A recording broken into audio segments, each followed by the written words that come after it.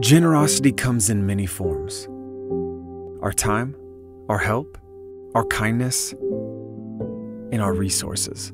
But here's what we know the Bible teaches us when God's blessing comes to us, it must also go through us. So, what would it look like for you this year to be generous? A timely gift? A helping hand? An act of kindness? Prosperity isn't meant to raise our standard of living, but to raise our standard of giving. Abundance isn't meant for us to live in luxury, but for us to help others live. And generosity isn't just something God wants from us, but something God wants for us. When Jesus came to save the world, he didn't ask, What can I spare? Instead, he asked, What will it take? So, what would it look like for you this year to be generous?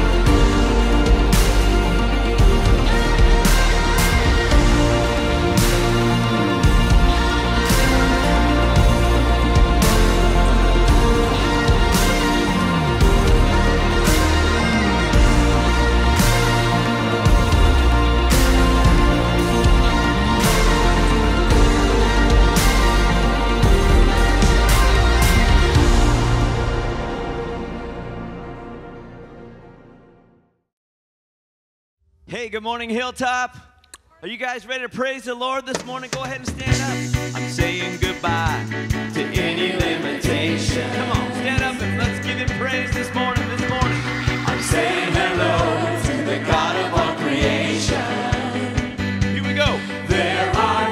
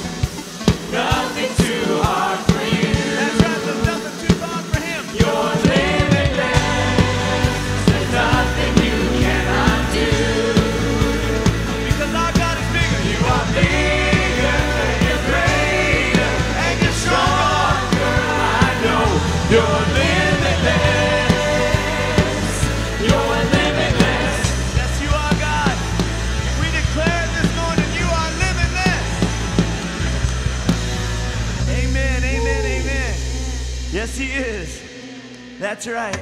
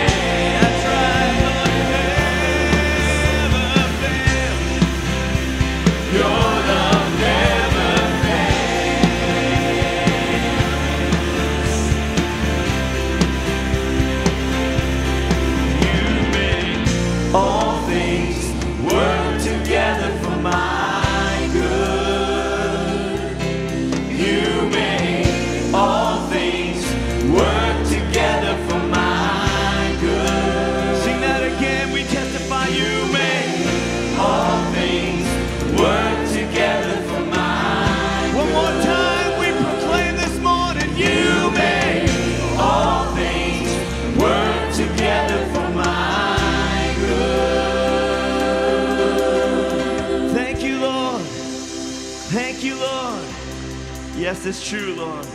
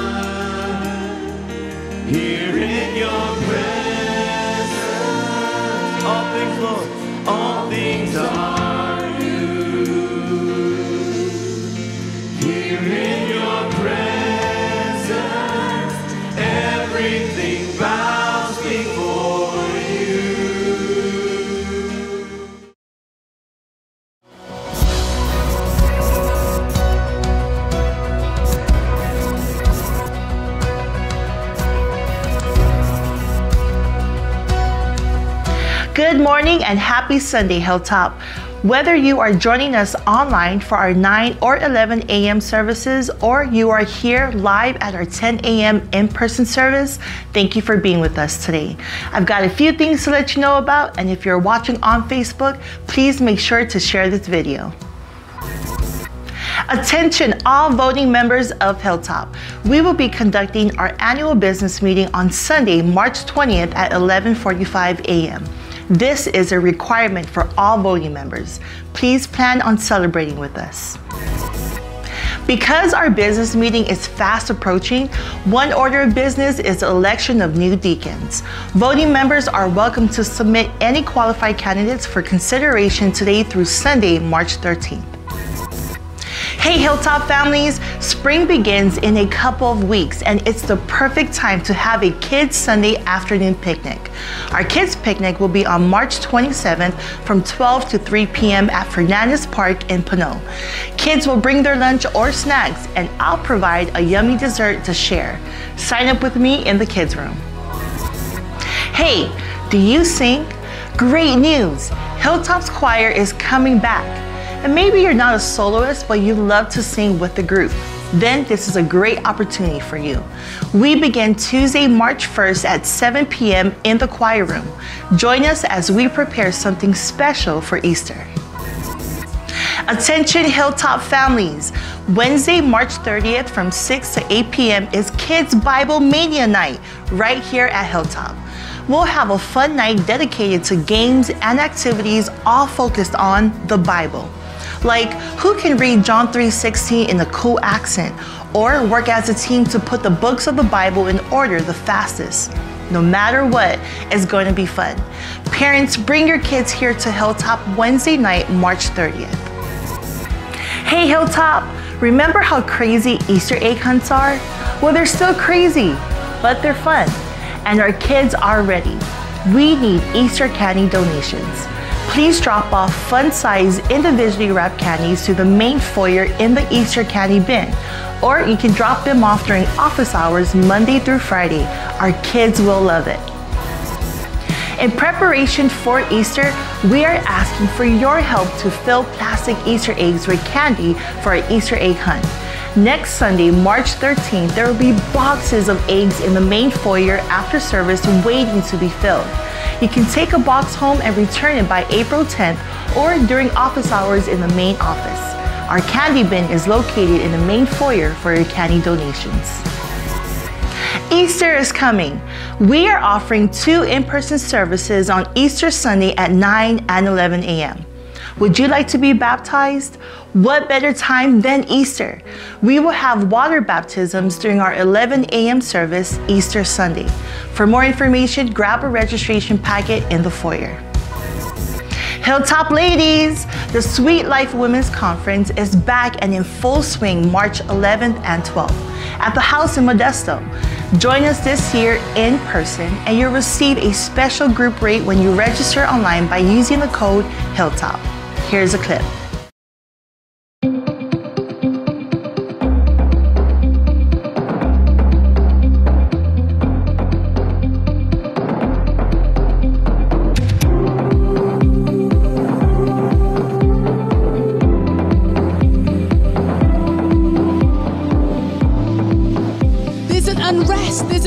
There's an unsettlement going on in your heart and in your soul and in your spirit sometimes. Because the dream that God placed in you is not meant to lie dormant.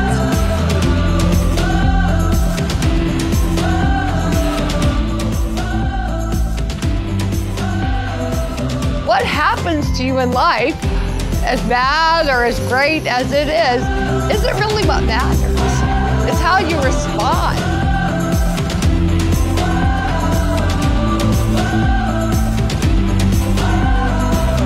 It is time for you to start dreaming again. It is time for you to start engaging again.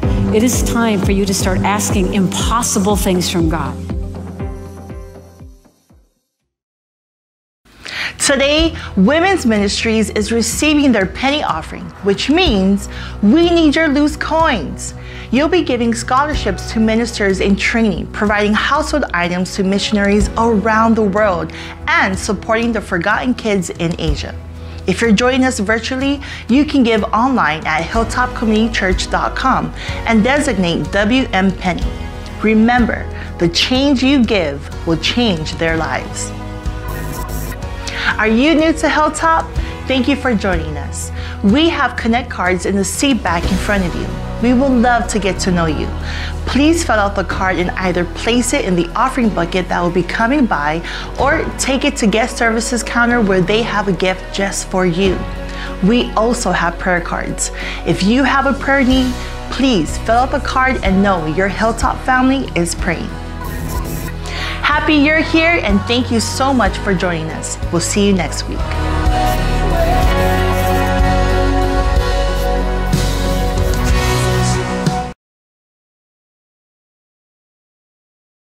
Uh, it's good to see you guys again, and uh, I want to I want to again remind you that the ladies' conference is coming up uh, on March 11th. You won't want to miss that, ladies. It's going to be a fabulous, fabulous time. My wife, uh, Katherine Wolf, is the lady that is in a wheelchair and is speaking, and she talks about it's not so much of what happens to you, but it's how you respond. That lady has an incredible testimony of what God has done in her life. I mean, phenomenal. You won't want to miss that. That alone is worth the price of admission. And because you're a person of Hilltop, if you go on the website and put Hilltop as a promotional code, you'll get a discount because my wife loves our Hilltop ladies so very much. And again, it's going to be a great, great time coming March 11th, and uh, you won't want to miss it. I'm going to ask our ushers to come, give us an opportunity to worship the Lord with our tithes and our offerings. And um, I've said this to you many, many times, but you know, the, the Bible says that what a man sows is what he reaps. And I think all of us can understand that. We're grown ups, we understand that you, there's nothing in this world that's free, really free. Nothing. Even when somebody gives you, say the government gave you a stimulus check. Well, I hate to tell you, but they're, they're, they're, they're giving it to you with this hand and they're taking it from you on this hand. It's called taxes, okay? Everybody knows that, right?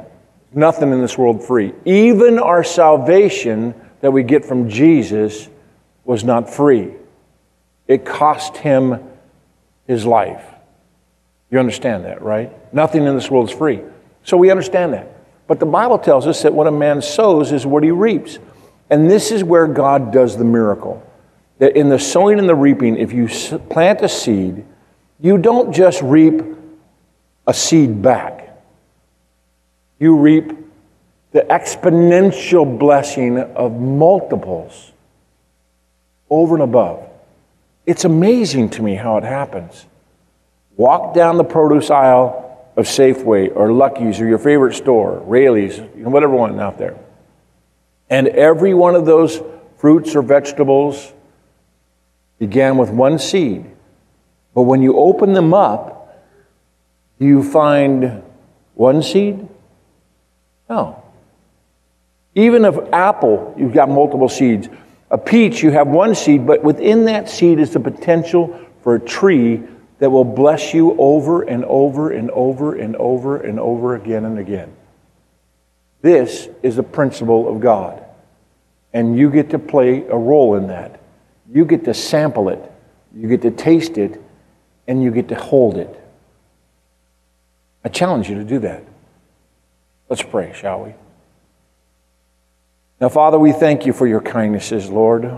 I'm overwhelmed by the blessings that you bestowed upon all of us here at Hilltop and how you work and do beyond what we deserve. It's because your love and your grace. And again, I pray, Father, a blessing upon this time of obedience. For I know, Father, frequently it just doesn't seem to make any sense.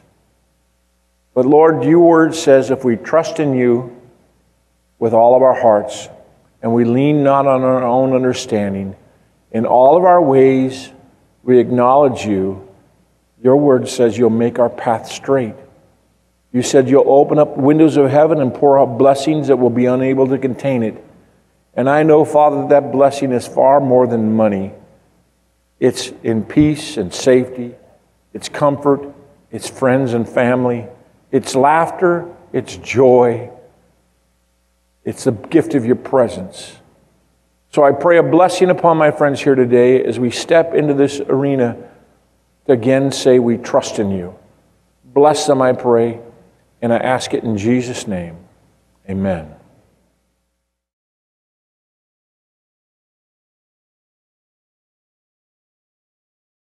Continuing in, in this series called Truth or Dare, and uh, we're doing a series on the Ten Commandments. And there are not too many places that are doing anything with Ten Commandments. It seems that most people are content to let them reside within the halls of the Old Testament, and and thereby just say, well, they're there. And uh, many people don't even know the Ten Commandments, couldn't give you the Ten Commandments, may give you one or two, the thou shalt not steal, thou shalt not commit adultery ones, but uh, many people don't even, they don't know the Ten Commandments. And I will tell you that one of the things that uh, I believe has brought the prosperity that this, is, this nation has experienced over these uh, years has been our foundation on the Judeo Christian ethics. It guards and guides and has done that for many years. But the thing that is alarming to me is that how quickly we have kind of let that erode. Remember a few weeks ago I told you about the Millennial Tower in San Francisco, 56 or 58 stories tall, and, and how it's leaning and it's multi million dollars uh, that have been invested to try to extract or bring that back up to place. And this past week, I think it was, I, I read an article about the Millennial Tower, uh, update on what's happening with that tower. And it's not only leaning, but it's now moved a full inch. And I'm like, wow. I'm so glad I don't own one of those apartments or one of those homes in that building right there. I mean, how are you going to sell that thing? Because it's leaning. But I, I, I equate that to, to the values of, of the United States. It used to be that we taught the Ten Commandments in public school, and now we fight over them whether they're going to be in a public place, even though the Supreme Court has them etched on the walls.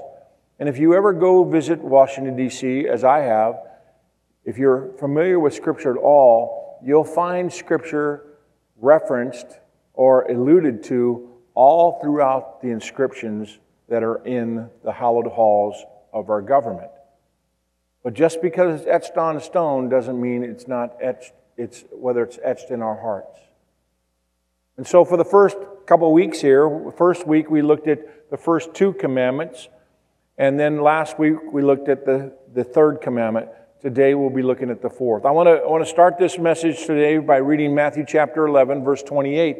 These are the words of Jesus. He says, Come to me, all you who are weary and burdened, and I will give you rest.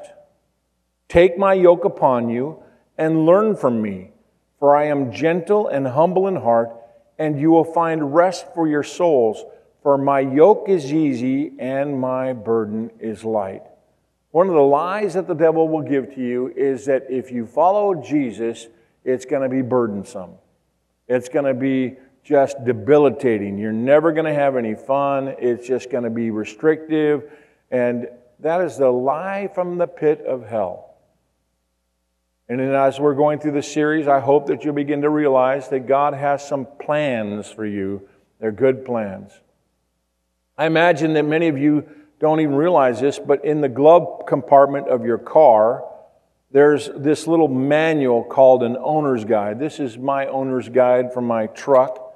And uh, it's right here. It's uh, I have a truck, and it's a GMC truck. It's right there. And uh, in it, you're going to find some helpful information about the various systems. And I mean, it is like a Bible in and of itself. There's just so many things in there. I mean, it goes through how to use the infotainment center and seat belts and all these other things and, and uh, the various systems, options, and equipment on the car. And you'll notice that, that there's a, a portion right here uh, for mine. It's right in the back. I've got a little post it note there, and it's entitled Maintaining Your Vehicle. And uh, it will say something similar to this for optimal performance for a long period of time. And then it lists some things that you should do. In mine, it says this it says, this maintenance section applies to vehicles with a gasoline engine. For diesel engines, see maintenance schedule for diesel, Duramax diesels. Your vehicle is an important investment. Boy, wasn't it? Boy, if you bought a car recently, you know how important that investment is, how expensive it is. And it says this section describes the required maintenance for the vehicle. Follow this schedule to help protect against major repair expenses resulting from neglect or inadequate maintenance. It may also help to maintain the value of the vehicle if it is to be sold. It is the responsibility of the owner to have all required maintenance performed. Wow. And it goes on and starts talking about that you should change the oil in the filter every three to 4,000 miles. You should change the air filter. You should replace, you know, any kind of parts that are prone to wearing out, brakes and things of this nature. Rotate the tires and, and every 7,000 miles or something like this. Lube the chassis and all kinds of things. And and, uh, but not many people, not many people take the time to read this because it's like a little bit of a Bible right there. They just get in the car and drive it. And there's another group of people that don't really adhere to the advice. They just put gas in the car and go. Years ago, when, we, when I was uh, just becoming the senior pastor of the church, we, we purchased uh, two Greyhound buses for our children's ministries that was thriving. And uh, uh, before we purchased the buses, my father, who was a 47 year Greyhound bus driver, safety coordinator, uh, he wanted to make sure that we, had, we were getting good buses. And Greyhound buses will oftentimes have over a million miles on them before they sell them. A million miles. Can you imagine that? I mean, if your car gets 100,000 miles or 200,000 miles, you think you're really pulling out a lot but these Greyhound buses over a million miles. But they have computerized maintenance records. And my father was able to access, access the computerized maintenance records and was able to see the, the value of the vehicle based upon its maintenance. Why did, why did companies like this go to such great lengths to maintain their vehicles? Even Amazon, the vehicles that you see driving around, they are maintained regularly. UPS, all of them. You want to know why they maintain them regularly? Because they know it saves them money in the long run. Now, I spent 15 years of my life as a youth pastor, and many times as a youth pastor, you spend time on the road with kids. We would go to Mexico and do ministry there. We would go to camps, summer and winter camps, and all kinds of things. And part of the job description of a, of a youth pastor at that time was to do the maintenance on the vehicles. And uh, that's because it actually just kind of fell to me because I learned the hard way that if the vehicles aren't properly maintained, which most people would just get in them at other ministries of the church, the Silverliners and others, they just get in them and go. But I learned in a very difficult season how important it was to make sure the vehicles were maintained. Even though it really wasn't part of my job description, I took it on. It's because I remember driving to summer camp one time up to Tahoe with a whole bunch of kids in the car in the in the van, and the radiator uh, blew the, the thermostat, and here we are on the side of the road. When you've got 15 kids on the side of the road when it's about 100 degrees outside, how many you know that's called HE double hockey sticks, you know? Because if you've ever taken your own family and you had the kids in the back say, When are we going to get there? Try having 15 kids trapped in a van because you don't want them outside of the van because the tendency of a junior high student deciding that he wanted to play chicken with the freeway vehicles, so you leave them in the van, and it's hot in there, and say, It's too hot in here. And you're calling AAA. That's so important to maintain the vehicles. I mean, you think about commercial airlines, they maintain their fleet not just because of government regulations, but because of the high cost of not doing it. If a plane has a problem, it just doesn't pull over to the side and wait for a tow truck. It has a high likelihood of crashing and killing people. It just doesn't pay to ignore maintenance. So, in the context of the fourth commandment, this, this, uh, this fourth commandment of this book, the Bible, this book, the Bible, contains hundreds of specific guidelines to help you get optimal performance or enjoyment or fulfillment or meaning out of your life. Someone once said B I B L E. You know, there was an old song, that's the book for me. I stand alone on the Word of God, the B I B L E. But B standing basic, I standing for instruction, B standing for before, L standing for leaving, and E, earth. Basic instruction before leaving earth. And in many ways, that's what this word is it's the owner's manual. And so you could call the fourth commandment the maintenance commandment. And so I'd like to read it with you in Exodus chapter 20, verse 8. Here's what God says He says, Remember the Sabbath day by keeping it holy. Six days you shall labor and do all your work, but the seventh day is a Sabbath to the Lord your God.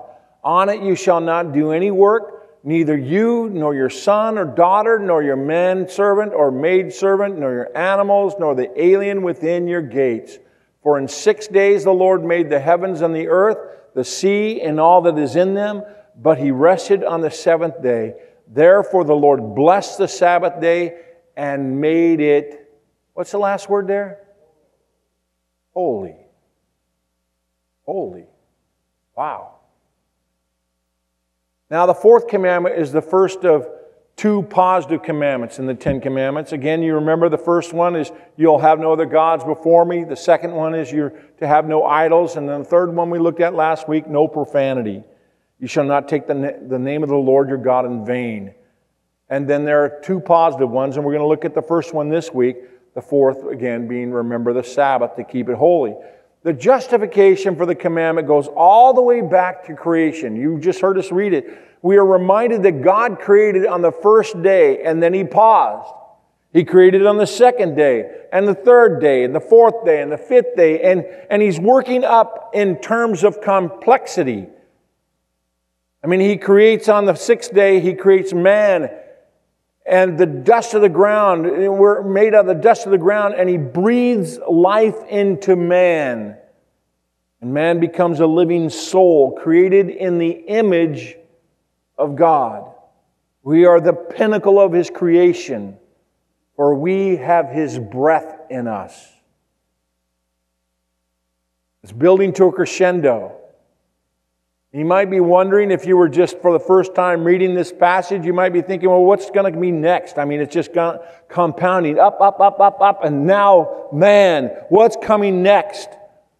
Seems as if God is on a roll.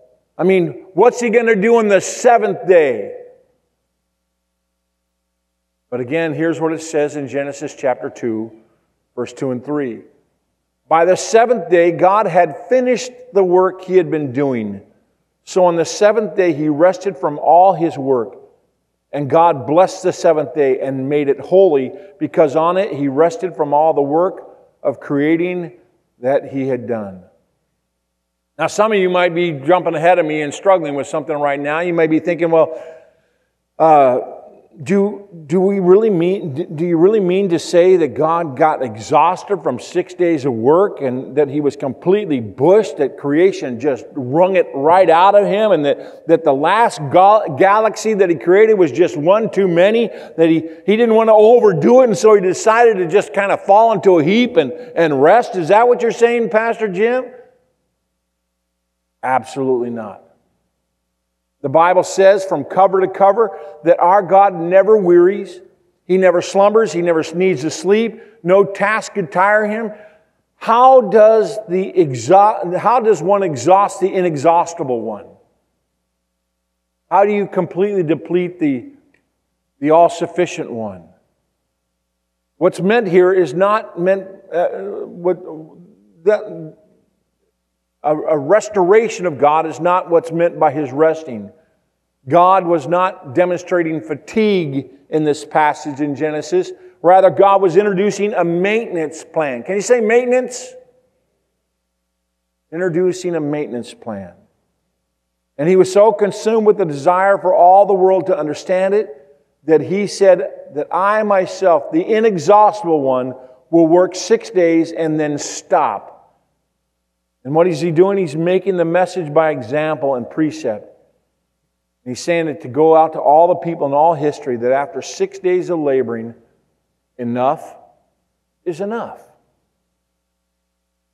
I don't know if you realize this. You know, I, there's, a, there's a, an error going around. People think that, that uh, when the world was created and it was perfect, that Adam and Eve were just kind of sitting around and, you know, grabbing grapes or whatever and just la, la, la, la, la, you know.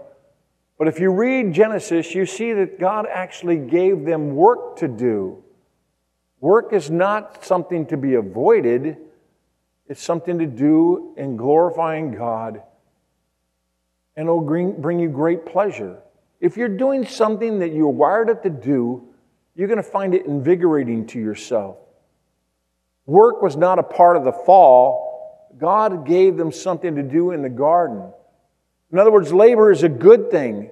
It can be invigorating, it's exciting, it's challenging, it's motivating. But God says that you can do that for six days and then enough is enough because there's more to life than labor. More to life than labor.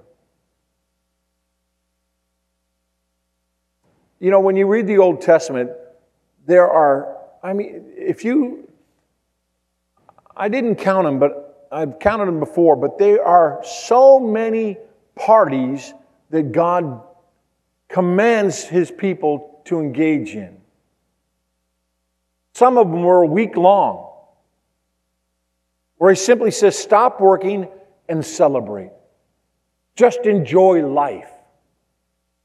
If you read Ecclesiastes, where it seems that the, the preacher, Solomon, is, is, is bringing out his, his dissatisfaction and all these things. And he's saying, I, I chased after this and I got this and I acquired that and all this stuff. And he said, It's all vanity. It's all vanity. In other words, it's all about pride. I want to get, I want to get, I want to have, I want to get all the stuff. And then finally, at the end of Ecclesiastes, he says, This is the sum of the matter to just enjoy life.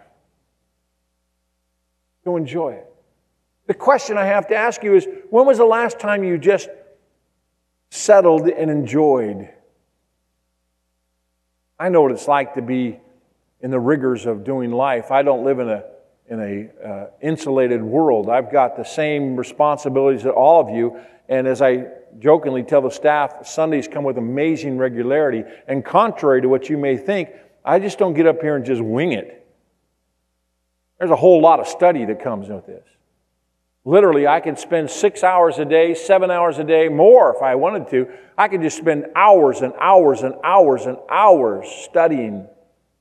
And then not only studying, but then trying to craft it in a way that I can present it to you that might be meaningful. And again, nothing that I have is unique to me. In fact, the Bible says, Solomon says again, there's nothing new under the sun but I'm gathering resources, I'm gathering thoughts, and I'm putting things together. I'm writing on pieces of paper like these, and I'm setting it here. And I, I, I have pens next to my bed and my phone, and sometimes I'll wake up in the middle of the night and can't go to sleep for two hours because I'm writing down ideas that I feel like the Holy Spirit is dropping in my heart. I know what it's like to be on a treadmill. And God knows what it's like too. And he likes to remind us in this passage that there's more to life than work.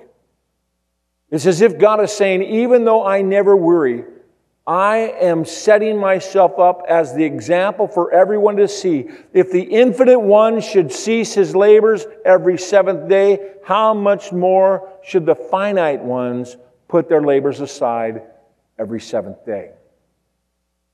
Now, it seems to me that God has at least two ideas in mind when He establishes this fourth commandment. I think the first one is obvious. God is saying, every seven days, I want work to come to a screeching halt. You see that God says that every seventh day, He wants labor to come to a screeching halt. So, my first point is simple stop working on the seventh day. Stop working. That's why I think God makes it very clear. And there's even a little bit of humor interjected in this passage. We read it. God's saying, I don't want you to do any work. But hey, I realize when I say that, that I don't want you to do any work, that there's, that's probably not clear enough for you. So let me clarify it. I don't want you, your son, your daughter, your manservant, your maidservant, the people who work for you, even your cattle. Take the yoke off the oxen, take the saddle off the donkey. I even want your cattle to rest. And if that isn't enough, if you have a guest from out of town staying in your guest room, don't let them work either. God says He wants a screeching halt across the board. And if you need an example, God says that He will be our example. He says, I ceased laboring after six days. Speed of the leader, speed of the team. God expects us to follow his example. And I think it's because God is saying that he's the designer I mean, what's, why is he so concerned about this stop labor? And I think it's because he, he wants us to know again that he's the designer and, and he's the designer of the human race. He's the creator, the life giver, the lover of mankind. And God is saying that he knows that in order for people to function optimally over the long haul, that, it's to, that is to say to live with joy, to with peace and, and with, with sanity, to healthy body and, and solid relationships, marriages and families and, and, and all these things uh, we've got to keep a proper perspective on God and other people. God says that He's going to have to insist that they break out of their weekly routine on the seventh day. It's as if God said, I got, I got to get them to stop working. I've got to get them off the treadmill. So the perspective changes. God, being our designer, knows that physically we need a break every seven days. Production analysts will back this up. I mean, it's been proven time and time again through study after study that a 40 hour work week is the optimum and, and maximum that most workers can labor without the beginnings of a physical breakdown appearing. Statistics show that after 40 hours or so, it varies a little bit there, but that, that workers' concentration diminishes mistakes go up and morale goes down. Production analysts have concluded that after five to six days of continual labor, it would be better for the company to have the, comp- have the workers rest. They'd be more efficient, more happy, and wonderful. A workplace desirable instead of just the stress of get on it, go more, do more. We understand this, I think. It's intrinsic within each and every one of us. People need to stop working physically every seven days. While production analysts have done cartwheels over their research and insights to this, it has been written in God's Word for thousands of years. Thousands of years. Every seven days, we need a physical rest. Again, God is not mocked. Seven day workers lead all the charts in work related health disorders, premature heart, heart attacks, and breakdowns. Again, it's been said all work and no play makes Johnny a dull boy. No, all work and no play makes Johnny a dead boy. Not only do we need physical break, but we need an emotional break as well. Some of us don't work that hard physically. We have sedentary work styles.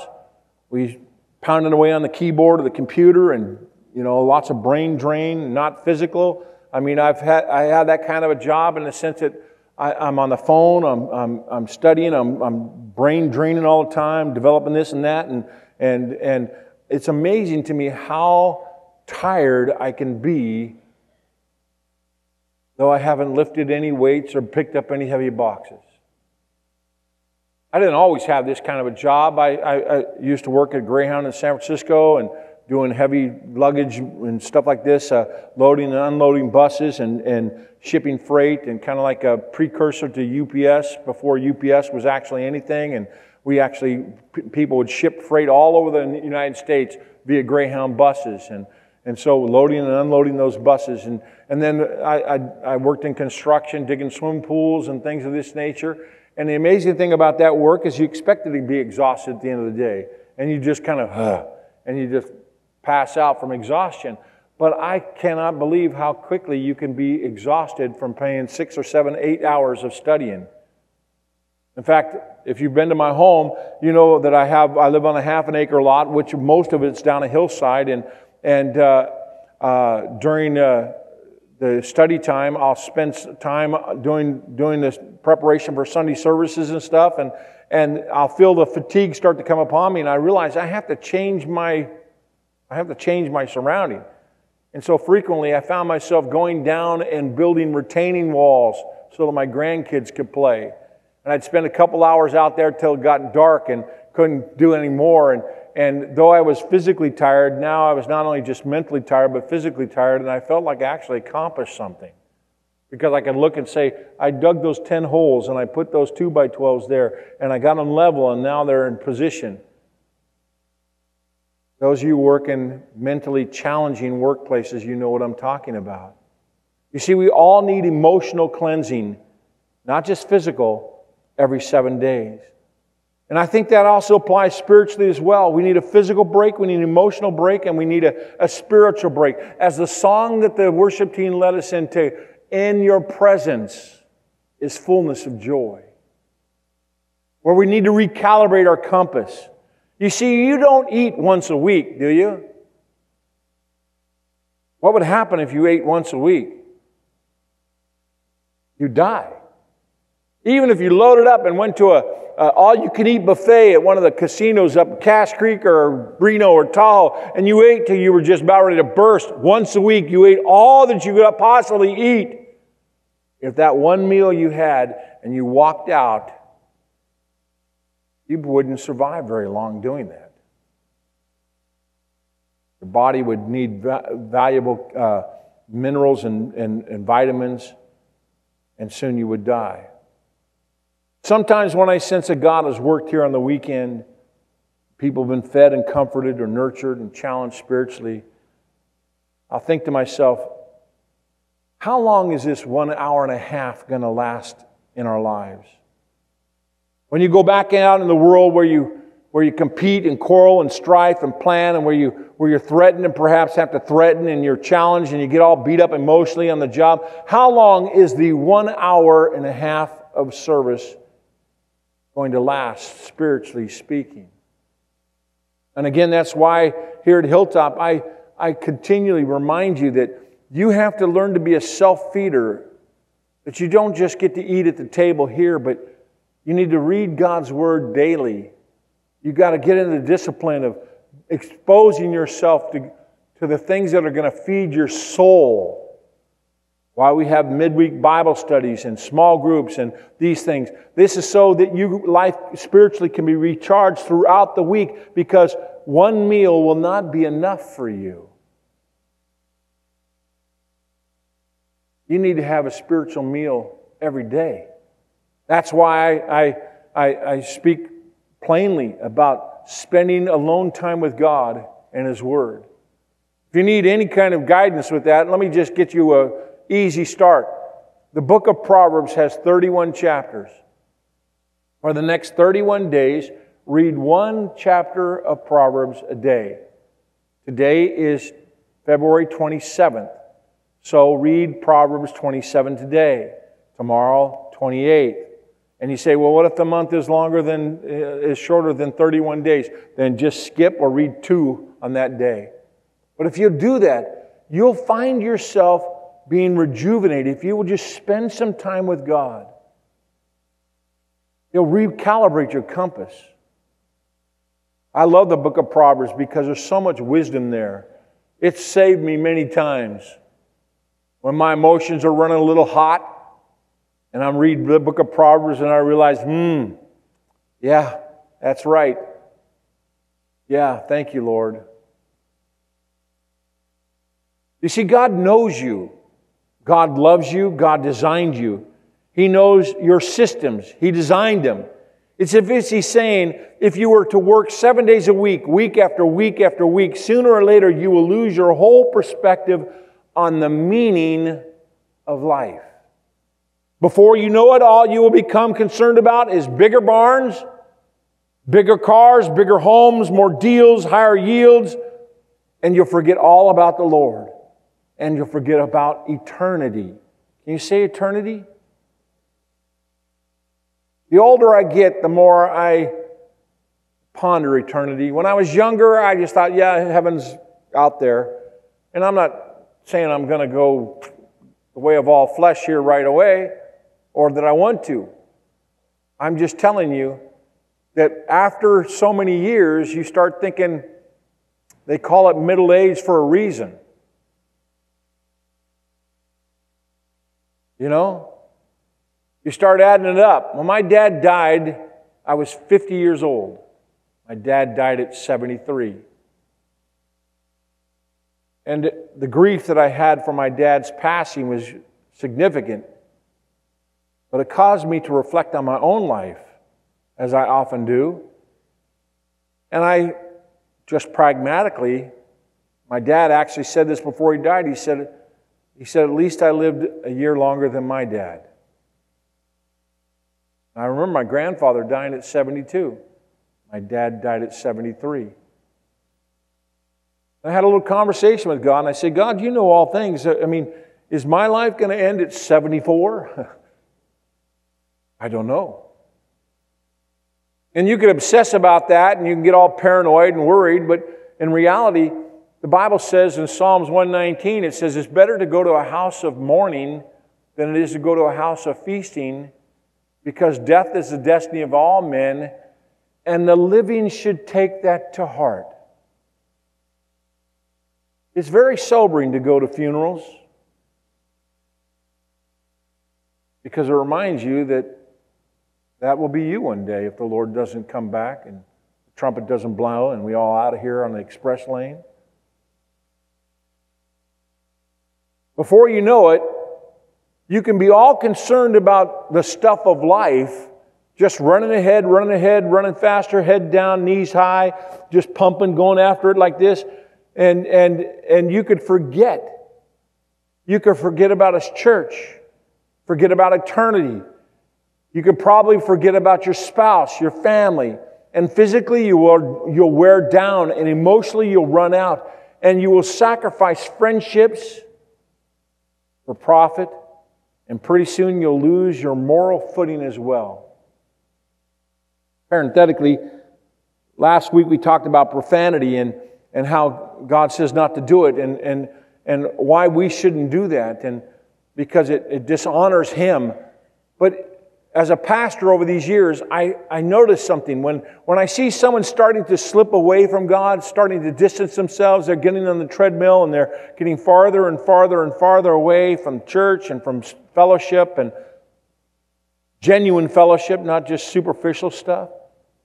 I noticed something that even their language begins to change. The expletives start to come out a little bit more frequently. Used to bother them, and it still does a little bit, but you can tell they're looking to see if there's anybody around who's going to call them on it.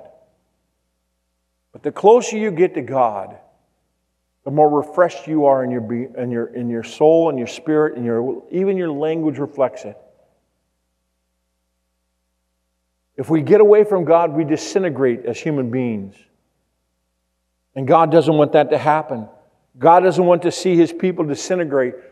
And so God, again, God says, I have plans for you. I've got great plans for you. Jeremiah 29, 11 says, I know the plans I have for you. And he says, plans to prosper you. Can you say prosper? Plans to not harm you, plans to give you a hope and a future. Everything must come to a screeching halt, God says, so that you can get rested up physically, so you can get cleansed emotionally, so that spiritually you can get a full scale meal where you get realigned and refocused. You got to get off the treadmill at least once a week. Now, I know some of you are thinking about those, those works of necessity. You're probably thinking, you know, what about doctors and nurses, you know, the essential workers, the pharmacists, or, or pastors for that matter? And I think although God's word does not speak about it specifically, my personal opinion on the matter is that God grants a certain amount of grace towards those professions that keep society functioning. I think in cases other than those, every effort should be made to schedule everything out of your Sunday. Everything. No work on Sunday.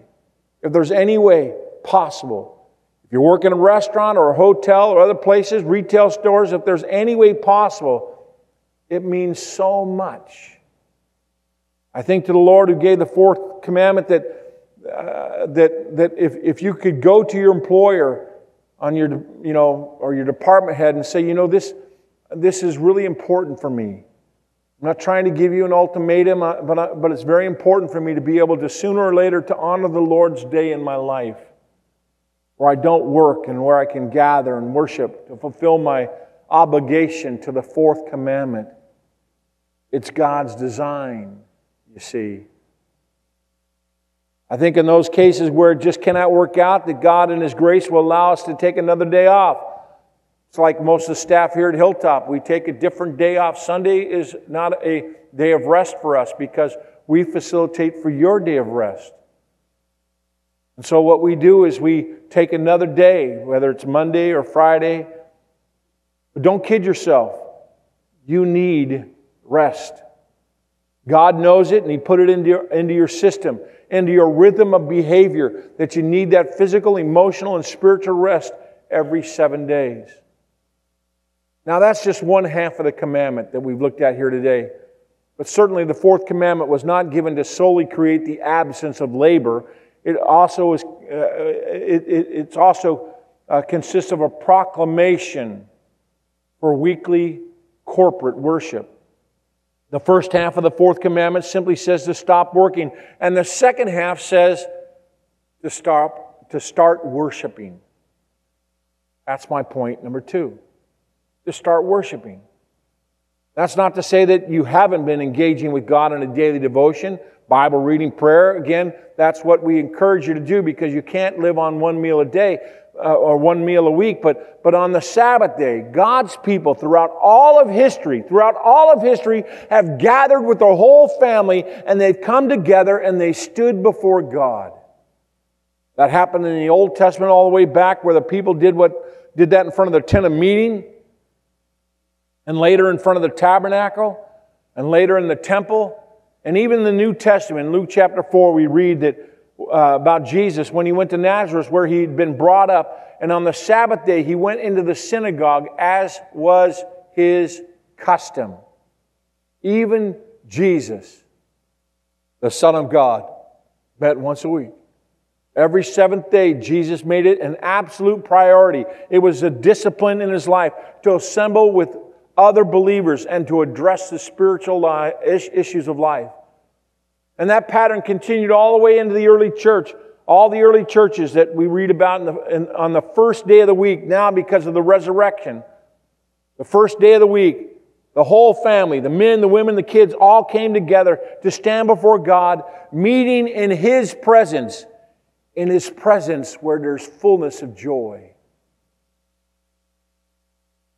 Hebrews 10:25 says this, let us not give up meeting together as some are in the habit of doing, but let us encourage one another, and all the more as you see the day approaching. Many of you understand that even more so after we had the mandatory shutdowns during the pandemic. I've talked to many of you who've come in here first time, coming back after a year or even two years. And I've witnessed tears in the eyes of people as they felt God's presence here. Oh, they were watching the preaching online. But that's not sufficient. There's just something about being in God's house. The Bible makes a promise that where two or three are gathered in His name, He is there in the midst of them. And they say, well, my husband's there, so we're just watching. But let me ask you Does it compare to what you feel when you walk into the house? When you drive onto the parking lot and you see other people who've taken the priority of Sunday and they're getting out with their Bibles or their phones and their, their tablets and they're, they're coming with an anticipation of meeting people of like precious faith. There's nothing like it. Nothing like it. And notice it says that as some are in the habit of doing. I've spoken to others and they've, they've said, you know, it's just very convenient, Pastor. You know, we've got lots of things doing. We got that and this and that and that, but and we, we watch it online. We may not watch it on Sunday, but we watch it sometime during the week. We watch it. And again, I, I, I said, well, I'm, I'm glad it's available to you, but being in God's house, there's nothing like it. Nothing like it. And then it says, but let us encourage one another. I don't know about you, but I get encouragement just being here. Last week I got a, I got a, a wonderful email from a lady who attends a church, and she said, I want to thank you for the message that you gave to us on profanity. And I was encouraged. I was encouraged. And when I see you, I want to encourage you. I'm encouraging you with God's word here today. Don't lose sight of what God has asked of us because He's not asking because He just wants to be a rule follower, slap us down. He knows how He made you, He knows what you need. Like the manufacturers of my GMC pickup. They said, if I don't do these things, it's on me if the vehicle breaks down. Wow. All Christians are encouraged to never forsake the assembling of themselves together. And why? It says, and all the more as you see the day approaching. What day? It's capitalized there, capital A, capital letter D. What day is he talking about?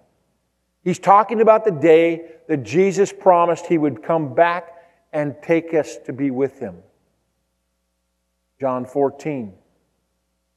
Even the angels said when, they, when the disciples stood there and they saw Jesus ascend into heaven after he had died and rose again and had been with them for 40 plus days, and the angel said, Why are you standing here looking up in the sky? He says, This same Jesus will return even as he said. That's my hope.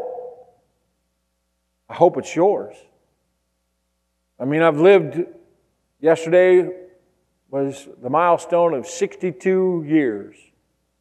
62 years. And I know you young ones out here, you're thinking, praise the Lord. Yeah.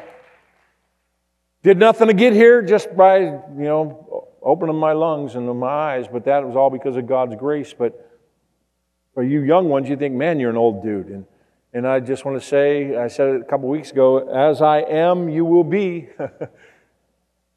as I was, you are. You know?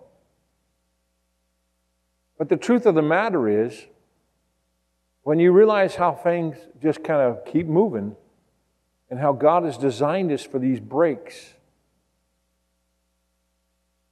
We understand that the day that Jesus is coming back is one day closer today than it was yesterday. And it's one year closer than it was in the year 2020. And if you're a student, as I am, of God's Word, you start to see things start to, you know, 1 Corinthians says that we see through a glass darkly. So it's, it's hard to discern exactly. And I'm always weary of people who tell me exactly what's, they, they say, well, this is going to happen. There's 88 reasons why Jesus coming back in 1988. Well, 1988 came and went, and they were obviously wrong. But when I start to see Russia having conversations with China, and to realize that the Bible talks about a, a region called and and and and Gog and Magog. There's Russia and China. I don't know how it's all going to turn out.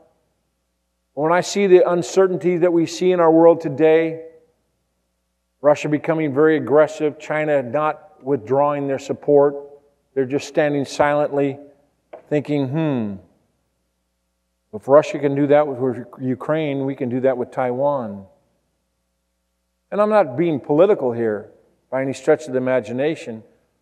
I just have my eyes opened and my head on a swivel. And Jesus said in Matthew, He said, when you begin to see these things take place,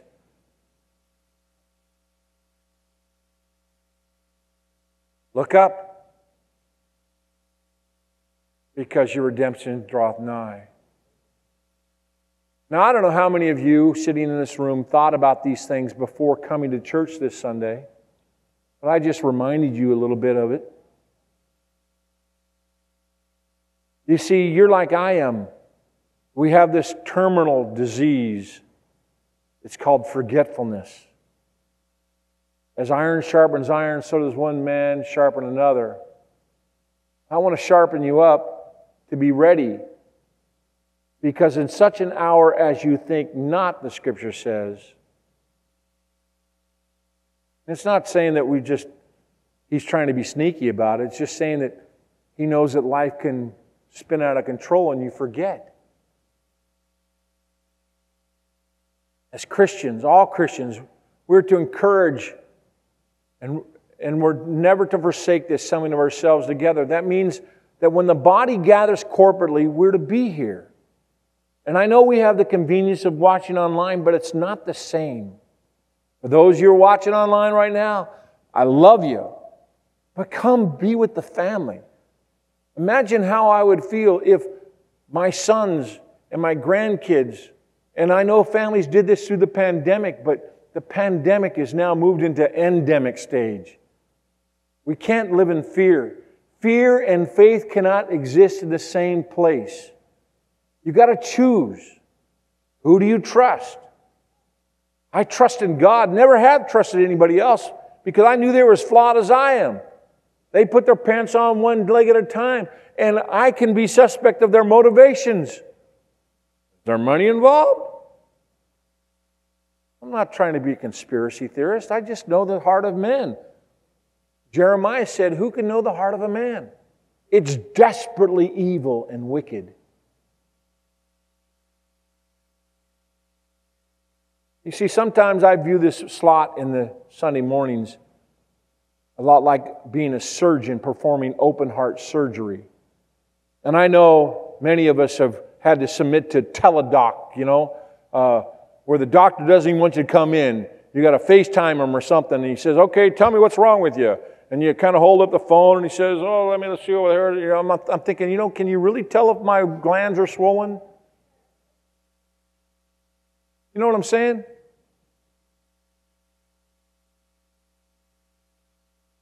And we kind of let that happen. It's not the optimal. As much as I don't like a stranger touching me, I'd like a doctor to be able to actually put the gloves on and feel whether I got swollen glands because I don't know what a gland is. But this is one of the most, what we do here on Sunday morning is one of the most delicate operations. I mean, one little slip, if you're a heart surgeon, as you're working near the heart, the stakes are literally life and death. You know what I feel like sometimes? that for some of you, this is the only time in your week. Some of you know you come here for just 35, 40 minutes, get here late, leave early. You open your heart just a little bit, just a little bit, and you allow the Word and the Spirit a little bit, just a little bit, and perhaps through me as an instrument in God's hands, do a little surgery on your heart. When that's going on, there's this delicate thing that, you know, it's happening. The stakes are sky high. And I'm not trying to build up anything here, but sometimes I feel like the regular heart surgeons who are doing that physical operation, they have the easy job. I mean, a slip there or whatever else, a problem there, hey, we're all human. We can make mistakes. That's why we pray for people going for surgery. We're asking God to guide the surgeon's hands. But It could cost someone their lives, yes. It's life and death, yes. But what happens in this room right here, in the spiritual realm, is about eternal life, eternal death. Huh. And there are no higher stakes.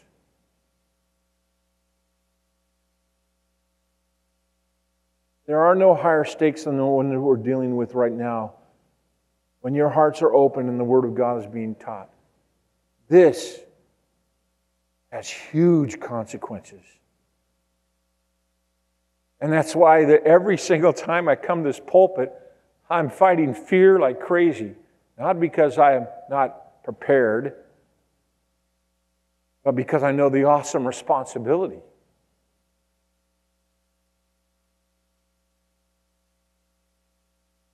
This is the most important time of your life. Let me say that one more time. This is the most important time of your life.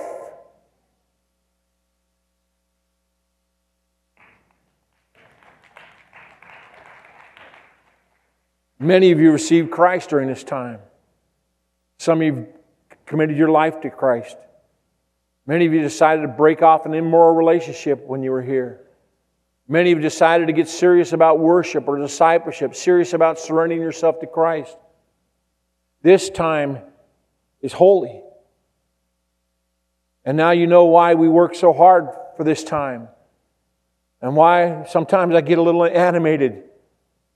There's so much at stake, and God says that every seven days I want you in a house of worship. I want you in a house of worship every seven days, whether it's raining or foggy or cold or hot, or even if it were to snow overnight, three feet in the Bay Area, God would say to every one of you, I want you in a house of worship, and I want, you, I want your heart to be open, and I want to do business with your soul. So, do you see the two halves of this commandment? Yeah. He says, Stop working. Get off the treadmill, clear your head, come to a house of worship, and open your heart for what God has for you. Two parts, equally important. Equally important. Again, I cannot overemphasize the need to submit yourself to a house of worship where teaching and preaching about God's Word is unapologetic. Not bombastic, not unkind, but direct and unapologetic. A place where you can grow and where you can serve. Where you can find answers from God's Word if you're not quite convinced yet. And that you don't look for comfort, but rather for, for, for stimulation to honor God. You need to go where you can get fed and challenged. You need to find a place where you're regularly challenged and fed and comforted and equipped so that you can mature and become all that God wants you to become. You need to find a church where you can grow. And the second point is that you need to find a church where you can serve, really serve. We're designed to get into the game. Nobody finds solar satisfaction sitting on the bench. Church hoppers, man, they have a problem because there's no accountability for growth. There's no network for support and care when a crisis comes their way. It's sad to me when I've seen people who have left Hilltop, moved to other communities, and they never attached themselves to another church, to another community of fellowship, of, of faith. And then when a crisis comes, they call me.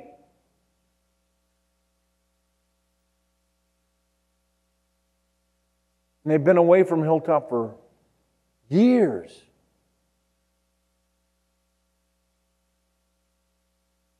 And though I would say, well, thanks, I you know, appreciate you thinking of us and calling, and we want to minister to you, but I'm asking myself the question is, where is your pastor? Where are the other Christ followers that you worship with every week? Why are you by yourself? It's true in nature.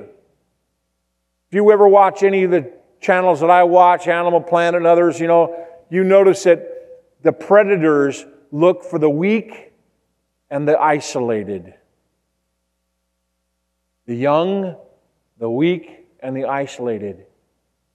And as I get older, I, maybe I'm getting a little softer in my old age, but I can't quite stomach it when I watch a wolf or a lion just jump on a baby impala. I, I'm like, oh.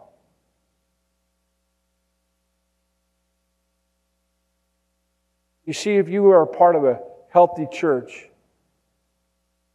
you'll find fellowship and you'll find camaraderie and you'll find help. The good news about a healthy church is not, not everyone can be starters. What I mean by starters, not everybody's going to be on the stage. But every one of us need to be in the game. It's the parable of the talents found in Matthew 25. One was given one, one was given five, one was given ten. You know, and and and we were all we are all called to be responsible for the amount that God has given us and to invest it in a manner in which it will benefit others. We are to love one another. And the only way you love one another is by giving, by generosity, by giving your time, your talents, and your treasures. You need to really count in the kingdom of God. Someday, everyone who claims to be a follower of Christ, I want you to hear me on this. Every one of us will stand before a holy God, a nail pierced Savior one day, and give an account for what we have done with our time, our talents, and our treasures. The treasures that He gave us, the time that He gave us, the talents that He gave us. And He's going to ask us, what did we do for the advancement of the kingdom of God? Because that's the only thing that really matters. Bigger house is nice, a nicer car is nice God doesn't neglect those things in your life. He says, I give them to you for your enjoyment. But he says, be generous. He wants to know what did you do for my kingdom? What did you do for my church? How did you serve my church? And that's the one time huh, I don't want to be caught speechless. As for me, I want to honor him and have him say that he is proud of me I've tried honestly to give my whole life. Seems to me it's a life for life. A life on the cross for a life of service. It's a life for a life. Anything less than my life in exchange for his life is a mockery of the cross. In short, we're all called by God to honor him, first by centering our lives around him and his bride, and that is the church. So, what are the results of the fourth commandment? Let's say that we all start obeying it. We stop working, we gather, we start worshiping. The results will be personal renewal on a weekly basis. Here's the good news if you obey the fourth commandment, you will find that you are indeed a winner. I'm not talking in some kind of ethereal, kind of mystical way. I'm talking about your life will be blessed all through it. When I sat down with my family for my birthday dinner with my family, I just sat and enjoyed watching the grandkids. And then the next day on my birthday, I got videos from my little Riley saying, Happy birthday to my papa, happy birthday to my papa. Sammy, the same thing. I have them here and I will cherish them to the day I die. I put them on a, a frame that was given to me by one of my sons, and there, it's a where you can transfer the pictures over to the frame and even video. And last night, my wife was asleep on the frame. Here comes Riley saying, Happy birthday to my papa. And here's Sammy, Happy birthday to my papa. The hand scrawled crayon card. Sammy and Riley can't write, but I got some artwork, and it's going to be on the wall. My son asked me, What do you want to say to Papa in his card? And he said, Papa loves God. That's all he said. Happy birthday, Papa. Papa loves God. And I thought, how can I not love him? Look at the gifts that he's given me. And nothing gives me greater joy. Nothing gives me greater joy than to be in this room here together with you and feel refreshed physically, emotionally, and nourished spiritually. Mark 2 27. I'll close with this. Jesus said, The Sabbath was made for man, not man for the Sabbath.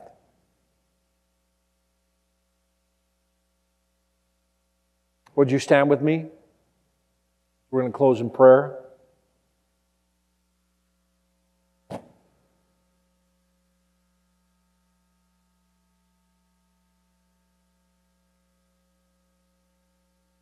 Don't forsake the assembling of ourselves together.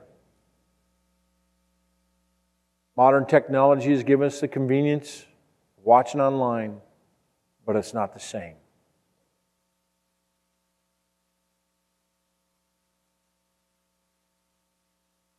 Now, Father, I pray for my friends in this room here today. And Lord, I pray for those who are watching online.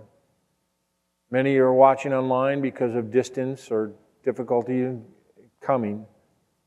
Some are doing it for convenience, some are grateful that we have that ability.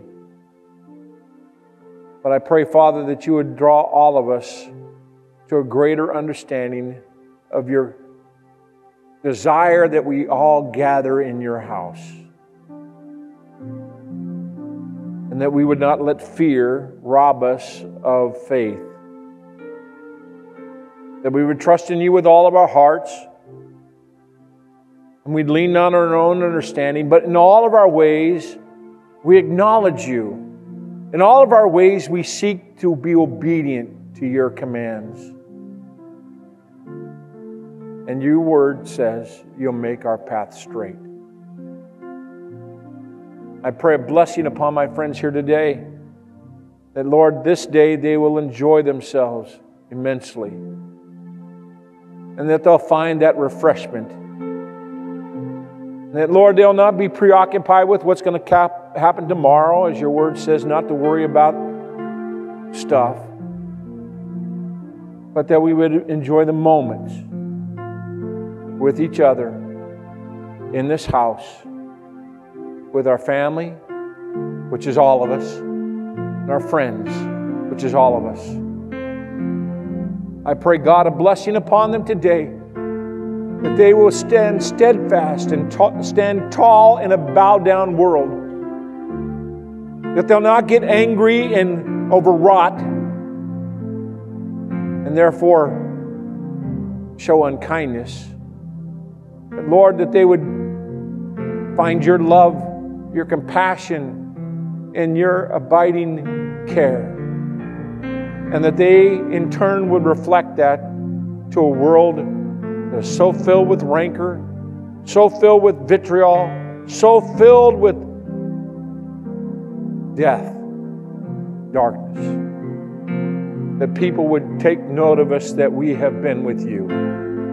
That even now, Lord, as people driving by on Hilltop, that their heads will turn and they'll look at our parking lot and they say, there are people that still go to church. And I pray, Holy Spirit, that you'll draw them like a magnet draws metal, that they'll not easily be able to shake it off. Holy Spirit, draw people, for I know you love them as much as you love us. And let them feel your love when they walk into the door. And we ask these things in Jesus' name. Amen. Amen.